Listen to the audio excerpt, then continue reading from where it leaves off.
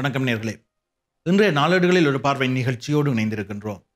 இன்று நான்காம் தேதி வியாழக்கிழமை ஜூலை மாதம் இரண்டாயிரத்தி பத்தொன்பதாம் ஆண்டு. இன்று இலங்கையிலிருந்து வெளியாக இருக்கக்கூடிய முக்கிய தேசிய மற்றும் பிராந்திய நாளேடுகளில் வெளியாகி இருக்கக்கூடிய முக்கிய செய்திகள் தொடர்பிலே எமது பார்வையை செலுத்த இருக்கின்றோம்.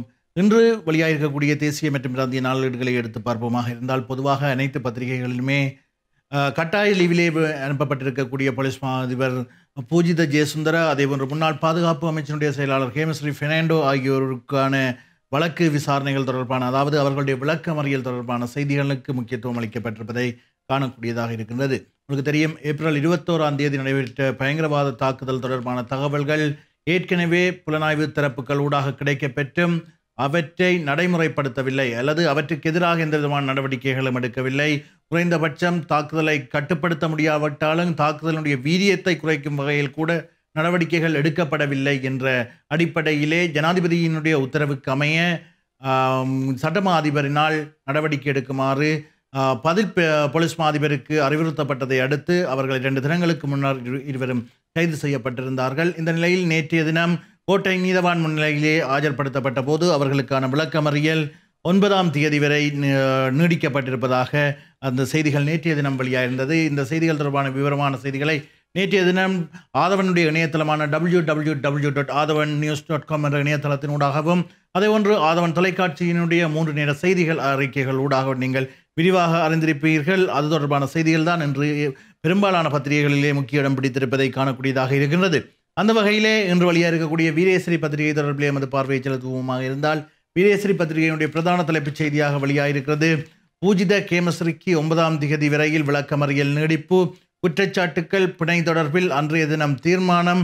கொழும்பு பிரதான நீதவான் அறிவிப்பு என்று அந்த செய்தி அமைந்திருக்கின்றது. அதாவது அவர்களுக்கு எதிரான குற்றச்சாட்டுக்கள் பிணை தொடர்பிலே அன்றைய தினம் தீர்மானம் எடுக்கப்படும் என்று தெரிவிக்கப்பட்டிருக்கின்றது அதாவது கொழும்பு நீதவான் லங்கா ஜெயரட்ன அவர்கள் தெரிவித்திருந்த கருத்தின் அடிப்படையிலான செய்தியாக அந்த செய்தி வெளியாக இருக்கின்றது. ஆனால் ஏற்கனவே செய்திகள் வெளியாகிருக்கின்றன அவர்கள் அந்த உயிரிழப்புகள் ஏற்படும் என்று தெரிந்தும் அதற்கு எதிராக நடவடிக்கைகள் எதனையும் மேற்கொள்ளாமல் அல்லது நடவடிக்கையான முயற்சிகளை கூட மேற்கொள்ளாமல் இருந்தார்கள் என்ற வகையிலே அந்த உயிரிழப்புக்கு காரணமாக இருந்தார்கள் என்ற அடிப்படையில் உயிரிழப்பு நடைபெறுகின்றது என்பது தெரிந்தும் அந்த உயிரிழப்பு தொடர்பிலே கவனம் செலுத்தாமல் இருந்தார்கள் என்ற அடிப்படையிலே குற்றச்சட்டக்கோவை குற்றவியல் சட்டக்கோவை அதாவது பீனல் கோட் என்று சொல்லப்படுகின்ற குற்றவியல் சட்டக்கோவையினுடைய இருநூற்றி தொண்ணூற்றி ஆறாவது சட்டப்பிரிவின் கீழ் அவர்களுக்கான வழக்கு தொடர்வதற்கான வாய்ப்பு இருப்பதாகவும் அதேபோன்று இருநூற்றி தொண்ணூற்றெட்டு என்று பல்வேறு இது தொடர்பான அதாவது கொலை கொலை குடந்தையாக இருத்தல்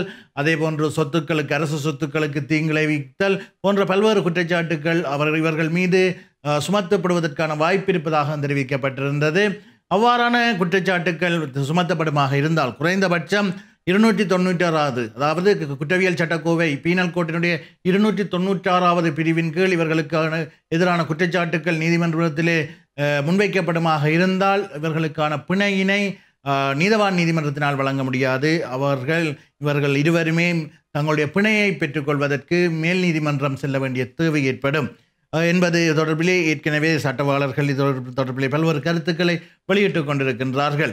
இது யதார்த்தமாக இருக்கின்ற நிலையிலே தான் சட்ட ரீதியாக இதுவரை எந்த விதமான குற்றச்சாட்டுகளும் முன்வைக்கப்படாத நிலையிலே நீதிமன்றத்துக்கு முன் முன்வைக்கப்படாத நிலையிலே அடுத்த வழக்கு தவணையின் போது குற்றச்சாட்டுக்கள் முன்வைக்கப்படுவது தொடர்பாகவும் இவர்கள் இருவருக்கும் பிணை வழங்குவது தொடர்பாக தொடர்பாக ஆராய முடியும் என்று அல்லது அன்றைய தினம் தீர்மானிக்க முடியும் என்று கொழும்பு மஜிஸ்ட்ரேட் நீதவான் லங்கா ஜெரட்ன அவர்கள் தெரிவித்திருந்த கருத்தின் அடிப்படையிலே அந்த வீரேஸ்வரி பத்திரிகையுடைய செய்தி அமைந்திருப்பதை காணக்கூடியதாக இருக்கின்றது. அடுத்ததாக வீரேஸ்வரி பத்திரிகையில் வெளியாகியுள்ள செய்தி தொடர்பில் பார்வையை செலுத்தினால் பூஜித ஹேமஸ்ரீ மீது பழி சுமத்திவிட்டு ஜனாதிபதி பிரதமர் தப்பித்துள்ளனர். ஜேவிபி குற்றச்சாட்டு என்ற அந்த செய்தி அமைந்திருக்கின்றது. உங்களுக்கு தெரியும் இவ்வாறான விடயங்கள் நடைபெறப் போகின்ற என்ற செய்தி தங்களுக்கு கிடைத்தவுடன் அதாவது பூஜித் ஜெயசுந்தர ஜனாதிபதிக்கு தெரியப்படுத்தியதாகவும் இது தொடர்பான தகவல்களை ஜனாதிபதி ஏற்கனவே அறிந்திருந்தார் என்ற கருத்தை பூஜித் ஜெயசுந்தர் அவர்கள் தெரிவித்திருந்தார். இது ஆனால் இது தொடர்பிலே ஹேமஸ்ரீ என்ற முன்னாள் பாதுகாப்பு அமைச்சருடைய செயலாளர் எந்த விதமான கருத்துக்களையும் தெரிவிக்காத நிலையிலும் பூஜித் ஜெயசுந்தர தெரிவித்திருந்த கருத்து தொடர்பிலே பல்வேறு அரசியல் விமர்சனங்கள் வெளியாக இருந்தன. குறித்த தாக்குதல் நடைபெறப் போகின்றது என்பதை அறிந்துதான் ஜனாதிபதி சிங்கப்பூரிலே தனிப்பட்ட ஓய்வை எடுத்துக் கொண்டிருந்தார் என்ற கருத்து கூட அரசியல் அரங்கிலே ஜனாதிபதிக்கு எதிரான குற்றச்சாட்டுக்களாக அல்லது ஜனாதிபதிக்கு தொடர்பான விமர்சனங்களாக வெளியாகி கொண்டிருக்கின்ற நிலையிலே தான் ஜேவிபியினுடைய தலைவர் அன்றகுமார் திசநாயக்க சொல்கிறார் இந்த பயங்கரவாத தாக்குதல் தொடர்பான முழு பொறுப்பையும் தார்மீக கடமையை எடுக்க வேண்டியது ஜனாதிபதி மற்றும் பிரதமர். நாட்டினுடைய தலைவர்கள் என்ற வகையில் நாட்டினுடைய தேசிய பாதுகாப்பு தொடர்பிலே பெரிய பாரிய அச்சுறுத்தல் ஏற்பட்டிருக்கின்றது. அதற்கு இன்னொருவர் மீது பழியை சுமத்திவிட்டு தப்பித்துக் கொள்ள முடியாது. நாட்டினுடைய உயர் தலைவர்கள் நாட்டினுடைய சகல அதிகாரங்களையும் கையிலே வைத்திருக்கின்றவர்கள் என்ற வகையிலே இந்த பயங்கரவாத தாக்குதலுக்கு ஜனாதிபதியும் பிரதமரும் தான் பொறுப்பேற்க வேண்டும் என்ற கருத்தை அன்றகுமார் திசாநாயக்க மீண்டும் ஒரு முறை வலியுறுத்தி இருப்பதை இங்கே அவதானிக்கக்கூடியதாக இருக்கின்றது. அடுத்ததாக இன்னொரு செய்தி. குற்றவாளிகளா என்பதை நீதிமன்ற தீர்ப்பின் பின்னரே அறிய முடியும். பூஜித ஹேமஸ்ரீ கைது தொடர்பாக அமைச்சர் மனோ தெரிவிப்பு என்று அந்த செய்தி அமைந்திருப்பதை காணக்கூடியதாக இருக்கின்றது. இவர்கள் இவருடைய கைது தொடர்பாக மனோ கணேசனுடைய கருத்தாக அந்த கருத்து அமைந்திருக்கின்றது. ஏற்கனவே நாங்கள் தெரிவித்திருந்தோம். இன்றைய செய்திகளிலே பெரும்பாலான செய்திகள் இந்த இரண்டு பேருடைய கைது விளக்கமறியல் தொடர்பான செய்திகளாகவே அமைந்திருக்கின்றது என்று. அந்த வகையிலே வீரேசரி பத்திரிகையிலே கூட முதல் மூன்று செய்திகளும் முக்கிய செய்திகளாக மூன்றும் அவர்கள் தொடர்பான செய்தியாகவே அமைந்திருப்பதை காணக்கூடியதாக இருக்கின்றது. அடுத்ததாக இன்னொரு செய்தி கல்முனை நீதிமன்றில் சஹாரானின் சகோதரி உள்ளிட்ட மூவர் ஆஜர் சாய்ந்த மனதில் உயிரிழந்தோரின் மரண விசாரணை முன்னெடுப்பு என்ற அந்த செய்தி அமைந்திருக்கிறது. அதில் எமது பார்வையை செலுத்தினால் சாய்ந்த மனது பொலிவேரியன் சுனாமி வீட்டுத்திட்ட பிரதேசத்தில் சஹாரான் ஹாசிமின் உறவினர்கள் உள்ளிட்ட குழுவினர் மேற்கொண்ட தற்கொலை குண்டு தாக்குதல்களில் உயிரிழந்தவர்கள் தொடர்பான மரண விசாரணை நேற்று கல்முனை நீதவான் நீதிமன்றத்தில் இடம்பெற்றதாக அந்த செய்தி தொடர்ந்து செல்கின்றது. இது தொடர்பான செய்திகளையும் நீட்டி ஆதவனுடைய இணைய இணையதளமான W W W dot Athavan news dot com என்ற இணையதளத்தினூடாக நீங்கள் பார்த்திருப்பீர்கள். அங்கே சகாரானுடைய சஹாரானுடைய இளைய சகோதரியான மதினியா என்பவர் உட்பட மூவர் அழைத்து வரப்பட்டிருந்து அவர்களிடம் வாக்குமூலங்கள் பெற்றுக்கொள்ளப்பட்டன உங்களுக்கு தெரியும் இந்த தற்கொலை குண்டு தாக்குதல் நடைபெற்றதை தொடர்ந்து சர்வதேச ஊடகம் ஒன்றிற்கு கருத்து தெரிவித்திருந்த சஹாரானின் இளைய சகோதரியான மதுனியா கடந்த பதினெட்டு மாதங்களாக சஹாரானுக்கும் சஹாரான் உட்பட தங்களுடைய குடும்பத்தின் ஏனைய உறுப்பினர்களுக்கும் தங்களுக்கும் தொடர்பில்லை என்றும் தன்னுடைய கணவனுக்கும் சஹாரானுக்கும் இடையில் ஏற்பட்ட கருத்து முரண்பாடு காரணமாக தாங்கள் அந்த குடும்பத்திலிருந்து சற்று தள்ளி வாழ்ந்து வருவதாகவும் அவர்களுக்கும் தங்களுக்கும் எந்த விதமான உறவும் இல்லை என்று தெரிவித்திருந்தார். ஆனால் பின்னர் மதனியாவினுடைய வீட்டிலே மேற்கொள்ளப்பட்ட இராணுவ சோதனைகளின் போது பெருந்தொகை பணம் மீட்கப்பட்டிருந்தது. அந்த பணம் எங்கிருந்து வந்தது என்று விசாரணைகளை மேற்கொண்ட பொழுது சஹாரானால் வழங்கப்பட்டது என்ற தகவல் வெளிப்பட்டதை அடுத்து மதினியா அதாவது சஹாரானுடைய இளைய சகோதரி மதினியா மற்றும் அவருடைய கணவன் ஆகியோர் கைது செய்யப்பட்டு விளக்கமறிகளில் வைக்கப்பட்டிருக்கின்றனர். நான் நினைக்கின்றேன் என்னுடைய ஞாபகம் சரியாக இருக்குமாக இருந்தால் இவர்கள் பயங்கரவாத தடுப்புச் சட்டத்தின் அடிப்படையிலே கைது செய்யப்பட்டு தற்போது விளக்கமறிகளில் இருக்கின்றார்கள். இந்த நிலையிலே தான் நேற்றைய தினம் அவர்கள் அங்கே கல்முனை நீதவான் நீதிமன்றத்திற்கு அழைத்து வரப்பட்டு சாய்ந்த மனதிலே கொலை செய்யப்பட்டவர்கள் யார் யார் என்பது தொடர்பிலே அந்த தகவல்களை உறுதிப்படுத்திக் கொள்வதற்காக வாக்குமூலங்கள் பெற்றுக்கொள்ளப்பட்டிருக்கின்றன உங்களுக்கு தெரியும் கடந்த சில தினங்களுக்கு முன்னர் சஹாரானின் மனைவி மற்றும் மகள் ஆகியோர் கல்முனை நீதவான் நீதிமன்றத்திற்கு அழைத்து வரப்பட்டு சாய்ந்த மனதிலே உயிரிழந்தவர்கள் தொடர்பான அந்த விசாரணைகள் மேற்கொள்ளப்பட்டிருந்தன. அது தொடர்பான வாக்குமூலங்கள் பெற்றுக்கொள்ளப்பட்டிருந்தன. இந்த நிலையிலே அடுத்த செய்தி எமது பார்வையை செலுத்தினால் மரண தண்டனை விதிக்கப்பட்டிருக்கும். இருபது பேரின் விவரங்களை வெளியிடுங்கள்.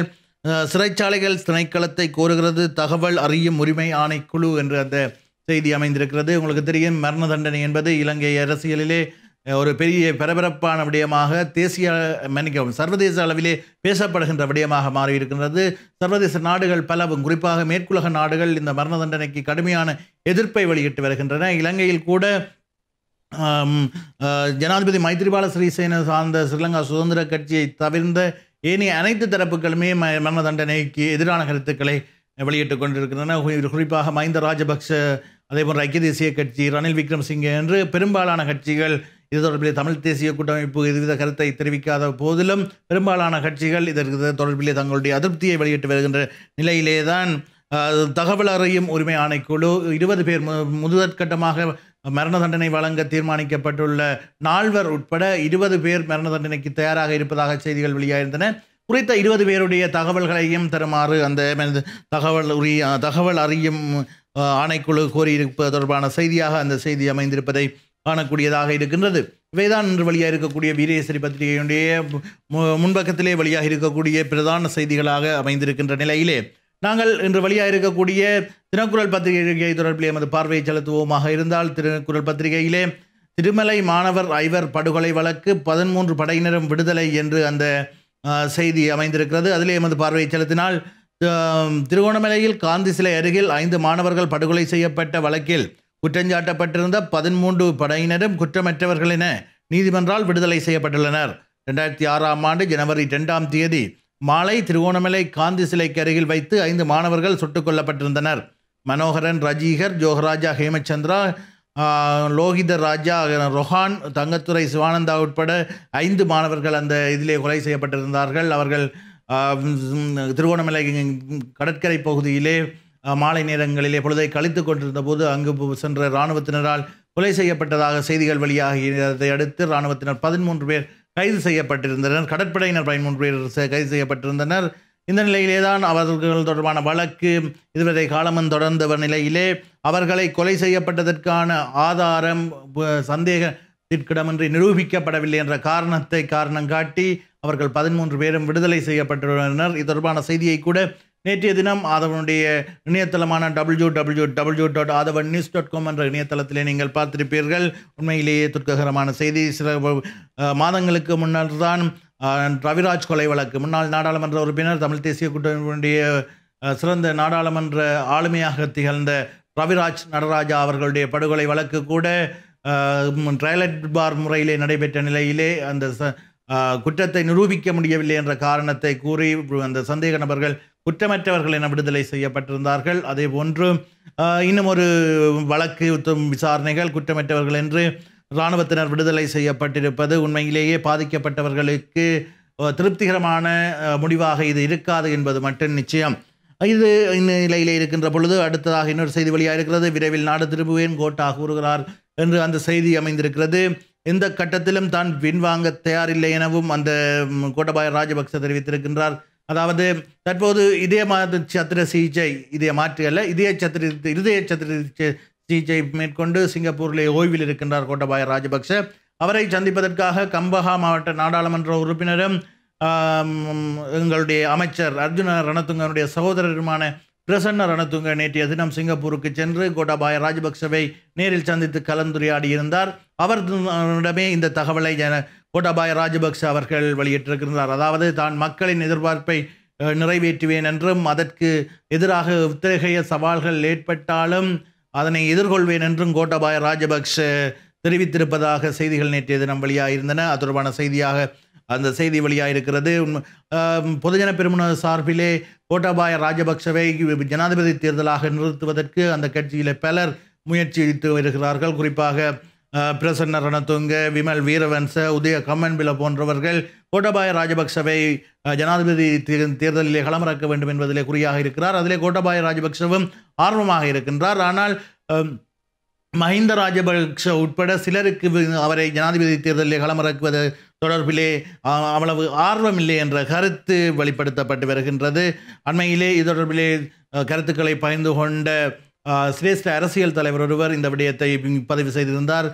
கோட்டபாய ராஜபக்சவை களமிறக்குவதை மஹிந்த ராஜபக்ச கூட விரும்பவில்லை என்ற கருத்தை அவர் பதிவு செய்தார். அவர் இது தொடர்பான காரணத்தை விளக்குகின்ற பொழுது கோட்டபாய ராஜபக்ச என்றவருடைய கைக்கு போய்விட்டால் ஜனாதிபதி பதவி போய்விடுமாக இருந்தால் அது மஹிந்த ராஜபக்சவினுடைய புதல்வரான நாமல் ராஜபக்சனுடைய எதிர்கால ஜனாதிபதி பதவி என்ற இலக்கிற்கு தடையாக ஏற்பட்டு விடுமோ என்பது தொடர்பில் ஜனாதிபதி மன்னிக்கவும் மஹிந்த ராஜபக்ச முன்னாள் ஜனாதிபதி மஹிந்த ராஜபக்ச கருதுவதாகவும் அதனால் கோட்டபாய ராஜபக்சவை விட்டு வெளியொருவரை இடைக்காலத்திலே ஒரு சிறிது காலத்திற்கு ஜனாதிபதி வேட்பாளராக இறக்கினால் அவர் தங்களுடைய குடும்பத்தை போன்ற ஆளுமை உள்ளவராக இருக்க மாட்டார் என்ற அடிப்படையிலே தங்களுடைய குடும்பத்தினுடைய தேவை உணரப்படும்.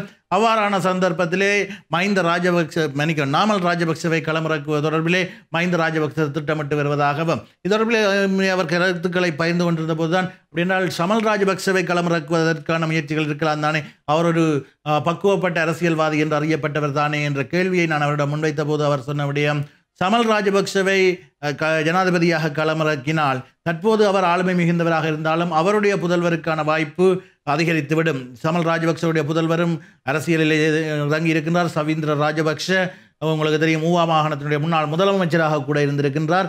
எனவே சமல் ராஜபக்ஷ ஜனாதிபதியாக வருவராக இருந்தால் தொடர்ந்து வருகின்ற காலங்களில் அடுத்த பத்தாண்டுகளிலே நாமல் ராஜபக்சவுக்கு இருக்கின்ற முக்கியத்துவத்தை விட ச சவீந்திர ராஜபக்சவிற்கு முக்கியத்துவம் அதிகரித்துவிடும். எனவேதான் மஹிந்த ராஜபக்ச ராஜபக்சகளை விட வெளியொருவரை இந்த இடைப்பட்ட காலத்தில் அதாவது நாமல் ராஜபக்ச ஒரு பக்குவப்பட்ட அரசியல்வாதியாக வயது பக்குவம் உள்ள ஒருவராக மாறும் வரையிலான இடைப்பட்ட காலத்தில் ராஜபக்ச குடும்பத்திற்கு வெளியில் உள்ள ஒருவரை ஜனாதிபதி வேட்பாளராக களமிறக்குவதற்கு ஆர்வமாக இருக்கின்றார் என்ற கருத்தை தெரிவித்திருந்தார். அது கோட்டபாய ராஜபக்ச மறைந்திருப்பார். அதனால் தான் என்னவோ சவால்களை எதிர்கொள்ள எந்த சிக்கல்கள் வந்தாலும் யார் எதிர்த்தாலும் இந்த விடயத்திலே தான் உறுதியாக இருக்கின்றேன். ஜனாதிபதி தேர்தலில் களமிறங்குவது என்பதிலே உறுதியாக இருக்கின்றேன். மக்கள் அதனை எதிர்பார்க்கின்றார்கள். மக்களுடைய எதிர்பார்ப்பை நிறைவேற்றுவேன் என்ற கருத்தை தான் மறைமுகமாக நேற்றைய தினம் பிரசன்ன ரணத்துங்கவிடம் தெரிவித்திருப்பதாக அரசியல் விமர்சகர்கள் தெரிவித்திருக்கின்றார்கள். ஜூலை இருபத்தி நான்காம் தேதி